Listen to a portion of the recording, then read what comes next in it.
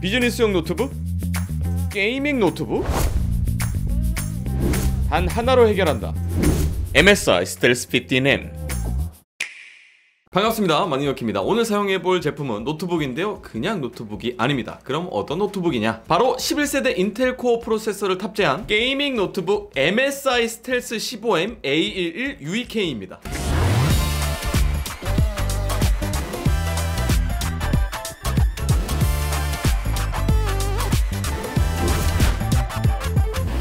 이게 어떤 제품인지 간단하게 말씀드리면 업무를 위한 비즈니스용 노트북, 게임을 위한 gaming 노트북 이 두 마리 토끼를 동시에 잡기 위해 나왔다라고 생각하시면 될 것 같습니다. 과연 비즈니스와 게임에 이용했을 때 둘 다 만족스러울지 제가 한번 사용해봤습니다. 저는 외주 작업과 출장 때문에 이동해야 되는 상황이 많기 때문에 노트북 무게가 무겁지 않아야 되고요. 쉬는 시간에 웬만한 게임 정도는 쾌적하게 즐길 수 있는 정도여야 저에게는 만족스럽게 사용이 될 텐데요. 그럼 천천히 살펴봅시다. 일단 Intel과 MSI가 이 제품을 개발하면서 ult ul portable gaming 노트북이라는 새로운 기준을 제시했습니다. MSI Stealth 15M은 세계에서 가장 얇은 15인치 gaming 노트북이라고 하는데요. 16.15mm의 두께, 1.7kg의 무게입니다. gaming 노트북 치고는 정말 얇고 가벼운 거죠. 기존의 탱크같이 묵직하고 투박한 gaming 노트북만 생각하다가 요 MSI Stealth 15M을 보니까 와 이게 gaming 노트북이 맞나 싶을 정도로 디자인도 심플하고 깔끔하게 잘 나온 것 같습니다. 그러니까 gaming 노트북의 휴대성이라는 키워드로 새로운 포지 포 지션을 만든 거죠. 35W 전력에서 작동하는 H35 프로세서를 탑재하고 소비 전력을 줄여서 휴대성을 많이 향상시킨 겁니다. 자 그러면 디자인부터 살펴보시죠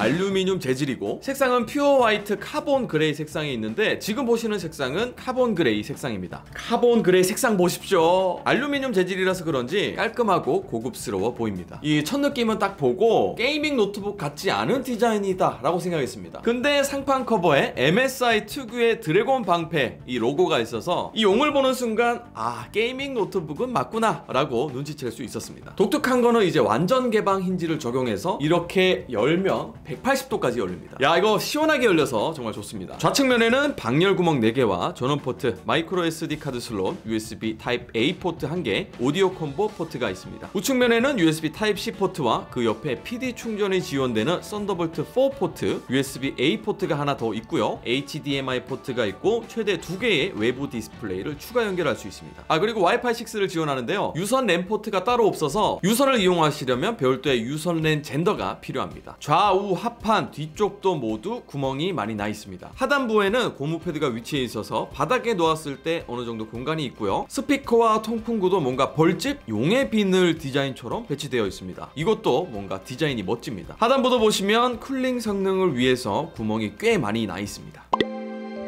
안쪽 디스플레이를 보시면 상단부에는 HD급 화질의 카메라가 있고요. 좌우 bezel은 4.9mm의 얇은 bezel이라서 화면이 넓어 보이고 하단부에는 MSI 로고가 적혀 있습니다. 디스플레이는 144Hz의 고주사율을 지원하는 IPS 타입 FHD 15.6인치 디스플레이입니다. 역시 gaming 노트북인 만큼 144Hz의 고주사율은 부드럽게 게임을 할 수 있어서 만족스러웠습니다. 특히 디스플레이는 anti-glare 패널인데요. anti-glare 패널이 뭐냐? 쉽게 말해서 빛 반사가 적기 때문에 때문에 오래 사용했을 때 눈이 덜 피로하고 편안하다는 장점이 있습니다. 광시야각 패널이기도 해서 측면에서 봐도 잘 보입니다. 화면 밝기는 250nit로 일반적인 20인치 초중반대 FHD 모니터의 화면 밝기를 보여주었습니다. 15.6인치라서 영상 시청할 때도 굉장히 만족스러웠습니다. 키보드만큼은 정말 gaming 노트북이다 라는 걸 확 느낄 수 있었는데요. RGB backlight 내장 키보드입니다. 처음에는 몰랐습니다. 그냥 푸른 빛을 내고 있었는데 이걸 이제 Dragon Center의 Mystic Light 설정을 통해서 내가 원하는 색깔을 마음대로 customizing 할 수 있습니다. 키 설정을 눌러보면 깜빡이기도 하고 색이 변하기도 하고 은은하게 색이 바뀌는 걸 확인할 수 있었습니다. 키감도 괜찮았습니다. 타건 소리 한번 들어보죠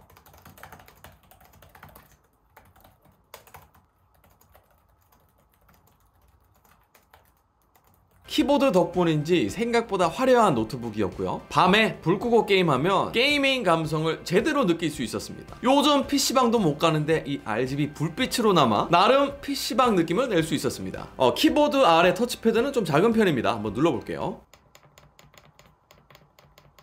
다음은 MSI Stealth 15M 스펙과 성능입니다. CPU는 11세대 Intel Core i7 11375H 프로세서를 탑재했고요. 외장 그래픽 카드는 NVIDIA GeForce RTX 3060 Max-Q가 탑재되었습니다. 메모리는 16GB DDR4 메모리가 탑재되어 있습니다. 512GB NVMe SSD를 기본적으로 탑재했습니다. 이 최고 사양 모드로 해서 3DMark를 돌려보니까 외장 그래픽 카드 RTX 3060의 힘으로 역시 벤치마크 점수는 높게 측정이 되었습니다. 저는 주로 FPS 총 쏘는 게임을 좋아하거든요. gaming 노트북인 만큼 여러 게임으로 제가 테스트를 한번 해봤습니다. 일단 저는 롤을 하지 않지만 많은 분들이 롤을 하기 때문에 플레이를 해봤습니다. 롤을 플레이하면 끊김없이 쾌적하게 플레이가 됐고요. 평균 프레임은 170 내외로 유지됐습니다. Overwatch를 최상으로 돌렸을 때 평균 프레임 속도는 100 정도가 나왔습니다. 쾌적하게 플레이 됐고요. Battlegrounds는 그래픽을 매우 높음으로 설정해서 플레이했는데 프레임은 평균 90 내외를 유지하면서 끊김없이 플레이 가능했습니다. 일단 이 정도 게임들만 원활하게 플레이돼도 굉장히 만족스러웠고요. 요즘 많은 분들이 아는 Valorant도 해봤습니다. 프레임도 평균 130 내외로 유지되어 괜찮았고 만족스러웠습니다. Valorant 재밌더라고요. 추가적으로 Black Squad 총 게임도 해봤는데 144프레임 이상 유지했고요. StarCraft는 평균 프레임 300 내외가 유지되어서 아주 쾌적하고 좋았어요. 아주 높은 고사양을 요구하는 게임들도 설정을 어느 정도 타협한다면 충분히 즐길 수 있을 것 같습니다. 발열에 있어서 고설정으로 플레이했을 때 키보드 상단 가운데 부분은 뜨거워졌지만 방열 구멍이 이곳저곳에 많기 때문에 빠르게 열을 식혀줬고요. 키보드는 따뜻한 정도로 사용할 수 있었고 palm rest 부분까지 열 전달이 되지 않았습니다. 이 스텔스 15M은 Cooler Boost 5 냉각 설계가 되어 있는데요. 두 개의 팬과 여섯 개의 heat pipe로 구성되어 있어서 발열을 최소화한다고 합니다. 어, 그래서 그런지 발열 관리가 괜찮았습니다. 다만 노트북이 full load 시에는 팬이 최고 속도로 돌아가는데요. 그때는 팬 소음이 조금 있습니다. 있습니다. 배터리는 52Wh로 MobileMark 2014 기준으로 최대 9시간 이상 사용 가능하다고 합니다. 스펙상 9시간 이상 사용 시간은 사무 환경, 인터넷 사용 환경 등 다양한 환경에서의 사용 시간이기 때문에 유튜브만 연속 재생하면 어떨지 테스트해봤습니다. 화면 밝기 50, 소리 크기 50으로 설정했고 키보드 backlight는 끈 상태로 테스트했습니다. 유튜브 연속 재생은 5시간 20분 동안 플레이 가능해서 만족스러웠습니다. 물론 게임을 하면 2시간 반 정도 사용 가능했지만 휴대성을 위해서 무게와 두께를 줄이고 배터리 용량 52Wh에 외장 그래픽을 사용하는 gaming 노트북인데 이 정도면 충분히 만족스럽다고 생각했습니다. 또 이렇게 상황에 맞게 배터리 설정을 바꿀 수 있기 때문에 사용하는 환경에 맞게 맞춰서 사용하면 됩니다. 또 Thunderbolt 4 포트에 PD 충전이 지원되기 때문에 전원 케이블을 따로 들고 다니지 않아도 된다는 장점이 있습니다. 배터리 충전 시간도 테스트해봤습니다. 노트북이 완전히 꺼진 0%에서 충전을 시작해서 약 1시간 정도 충전을 하니 80%로 충전이 됐고요. 1시간 22분 만에 90%로 충전되는 빠른 속도를 보여주었습니다. 90% 이후로는 충전 속도가 느려져서 1시간 56분 만에 99%로 충전이 되었습니다.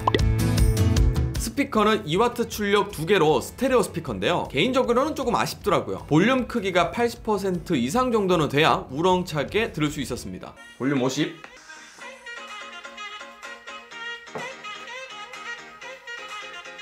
볼륨 80.